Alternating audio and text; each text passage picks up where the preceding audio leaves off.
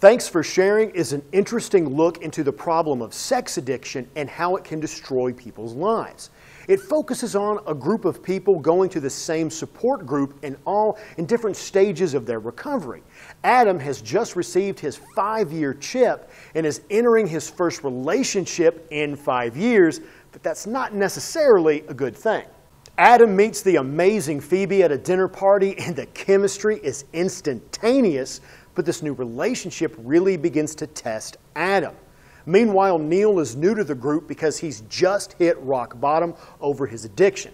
Adam becomes his sponsor, helps him turn things around, and that's when Neil meets Dee Dee. She's a woman in the same point of her recovery that he is. And Mike, Adam's amazing older sponsor, is having some problems at home. Each one of these individuals is going through things that could completely sway them from the path of recovery, and they need each other to keep falling back into self destructive habits. This film tackles a very heavy subject and it's got some disturbing images and performances in it, but don't worry, it also has a ton of charm and humor. You're going to be laughing along with these characters and you're going to be caring about them.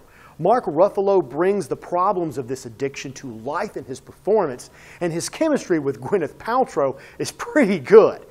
Tim Robbins, on the other hand, he brings a seriousness, he brings a weight to this film that it really does need.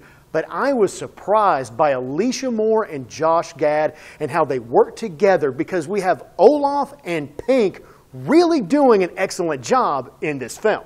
Thanks for sharing opened my eyes to the problem of sexual addiction. This is a disease that we make jokes about in our society. This film made me take it seriously, but it used humor and witty performances to do it. This film is entertaining. I do have one problem with it. I just couldn't feel any sympathy for Adam, and I just don't know why.